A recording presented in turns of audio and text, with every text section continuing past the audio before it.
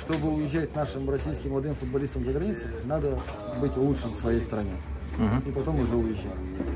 Ну, то есть состоявшимися мастерами вы имеете в виду. А Конечно. по поводу деградации РПЛ? Ну, я не знаю, если вы как бы деградация РПЛ, я не знаю, это ваше мнение, я не думаю. Нет, что- это не мое мнение. Я просто говорю о том, ну, что то это мнение навязывается. Оно Ну, мне очень не нравится. Это идет как бы с основания там всего и вся это, как бы вы знаете, и, и в 90-х годов, и в Советском Союзе все нам говорили, что мы самые плохие, не надо себя любить. Не надо, мы самые лучшие.